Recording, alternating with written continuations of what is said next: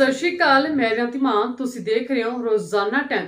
ਗੱਲ ਕਰਾਂਗੇ ਭਾਰੀ ਮੀਂਹ ਨੂੰ ਲੈ ਕੇ, ਹੜ੍ਹ ਵਰਗੇ ਹਾਲਾਤ ਲਗਾਤਾਰ ਬਣਦੇ ਜਾ ਰਹੇ ਨੇ, ਜਿੱਥੇ ਕਿ ਹੁਸ਼ਿਆਰਪੁਰ ਦੇ ਉੜਮੁੜ ਅਧੀਨ ਆਉਂਦੀ ਕਾਲੀ ਬੇਈ ਦੇ ਅਧੀਨ ਜਿਹੜੇ ਲੋਕਾਂ ਦੇ ਖੇਤ ਸਨ, ਉਹਨਾਂ ਦੇ ਵਿੱਚ ਪਾਣੀ ਭਰ ਗਿਆ।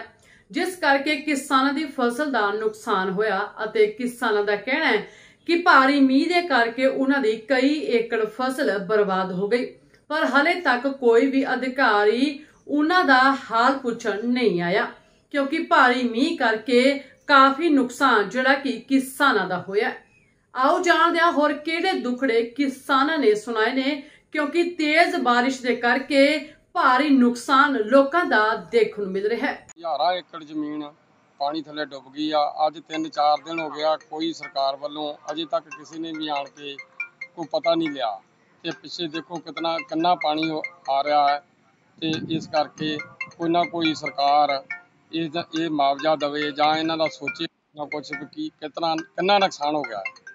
ਵੱਧ ਤੋਂ ਵੱਧ ਸਰਕਾਰ ਇਹਦਾ ਖਿਆਲ ਕਰੇ ਤੇ ਇਹ ਆਣ ਕੇ ਇੱਕ ਵਾਰੀ ਦੇਖਿਆ ਜਾਵੇ ਬੇਸ਼ੱਕ ਮੌਕੇ ਤੇ ਆਣ ਕੇ ਦੇਖ ਲੈਣ ਕਿੰਨਾ ਕੁ ਬੀਤੇ ਕਈ ਦਿਨ ਬਰਸਾਤ ਹੋਣ ਦੇ ਕਾਰਨ ਜਿਹੜਾ ਕਾਲੀ ਬਈ ਦੇ ਵਿੱਚ ਹੜ੍ਹ ਆਇਆ ਤੁਸੀਂ ਕੀ ਕਹਿਣਾ ਚਾਹੁੰਦੇ ਹੋ ਉਸ ਸੰਬੰਧੀ ਬਹੁਤ ਜ਼ਿਆਦਾ ਨੁਕਸਾਨ ਹੋਇਆ ਜੀ ਹਜ਼ਾਰਾਂ ਏਕੜ ਕਲੀ ਥੱਲੇ ਵਾਦੀ ਕੋਠੀ ਥੱਲੇ ਬਹੁਤ ਜ਼ਿਆਦਾ ਨੁਕਸਾਨ ਹੋਇਆ। ਇਸ ਕਰਕੇ ਇਹ ਸਰਕਾਰ ਨੂੰ ਕੁਝ ਨਾ ਕੁਝ ਮੁਆਵਜ਼ਾ ਦੁਨੀਆ ਨੂੰ ਦੇਣਾ ਚਾਹੀਦਾ, ਸੋਚਣਾ ਚਾਹੀਦਾ ਕੁਝ ਨਾ ਕੁਝ ਬਹੁਤ ਜ਼ਿਆਦਾ ਨੁਕਸਾਨ ਹੋਇਆ ਜੀ। ਹੜ੍ਹਾਂ ਕਾਰਨ ਇਹਦੀ ਫਸਲ ਤਬਾਹ ਹੋ ਗਈ ਹੈ ਤੇ ਘੱਟੋ ਘੱਟ ਲੱਖਾਂ ਦੇ ਹਿਸਾਬ ਦੇ ਫਸਲ ਤਬਾਹ ਹੋ ਗਈ ਤੇ ਇਹਨਾਂ ਨੂੰ ਚਾਹੀਦਾ ਸਰਕਾਰ ਨੂੰ ਮੁਆਵਜ਼ਾ ਦਿੱਤਾ ਜਾਏ। ਤੇ ਫਸਲਾਂ ਵੇਖੋ ਕਿੰਨੇ ਕਿੰਨੇ ਪਾਣੀ ਵਿੱਚ ਦੁਨੀਆ ਖਲੋਤੀ ਬਾਕੀ ਆ ਦੇਖ ਲਓ ਤੁਸੀਂ ਇਹ ਇਲਾਕੇ ਦੇ ਹਾਲ। ਸੋ ਦੱਸ ਦਈਏ ਕਿ ਤੇਜ਼ ਮੀਂਹ ਦੇ ਕਰਕੇ ਲੋਕਾਂ ਨੂੰ ਪਰੇਸ਼ਾਨੀਆਂ ਦਾ ਸਾਹਮਣਾ ਕਰਨਾ ਪੈ ਰਿਹਾ। ਇਸ ਦੇ ਨਾਲ ਹੀ ਕਿਸਾਨਾਂ ਦੀਆਂ ਫਸਲਾਂ ਵੀ ਤਬਾਹ ਹੋ ਚੁੱਕੀਆਂ ਨੇ। ਬਿਊਰੋ ਰਿਪੋਰਟ, ਰੋਜ਼ਾਨਾ ਟਾਈਮ।